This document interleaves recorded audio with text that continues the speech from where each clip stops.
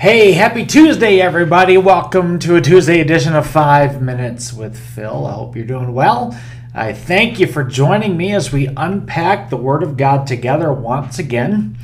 And today we're going to go all the way to the beginning of the Bible. Uh, this is right as God is creating everything heaven, earth, the, the the water, the air, the animals, mankind, everything. He's uh, he's done all that, and there is a there's an example that God not only sets for us in getting rest, but I think there's a bigger picture here that I'd like to uncover for you uh, as we take a look at God resting from his work. First of all, let's take a look at the Word of God, okay? We're in Genesis chapter 2, and we're going to start in verse 1 and go to verse 3. Ready? So the creation of the heavens and the earth and everything in them was completed.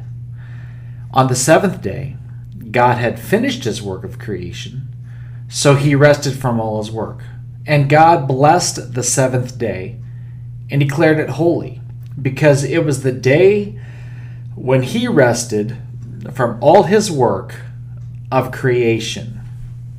Now, a lot of us, when we've grown up in the church, we, we see God resting from his work of creating everything. And we get this picture painted of God uh, being worn out, that God was exhausted after he created the heavens and the earth and everything everything in between.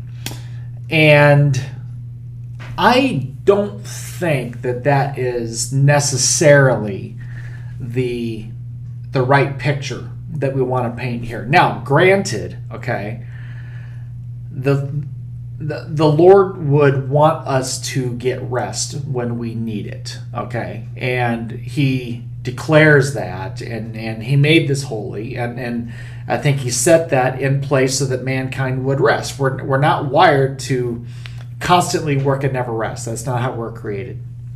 But let's take a look again at God's perspective now. Okay, was God tired? Was God exhausted? Was God worn out? I don't think so.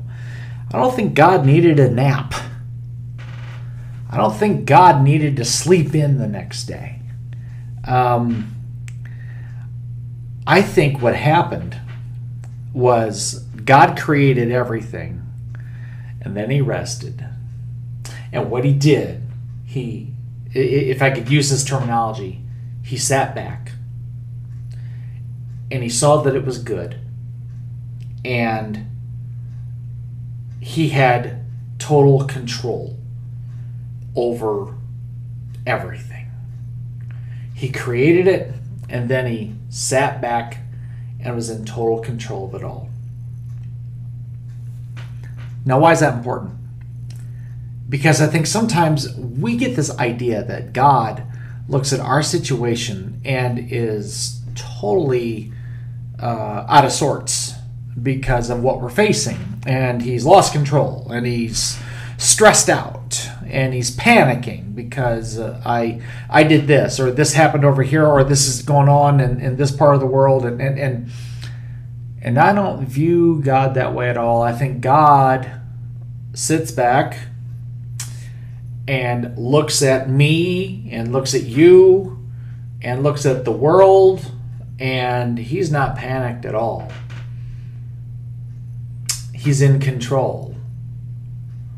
God's got this. Now let's make it personal.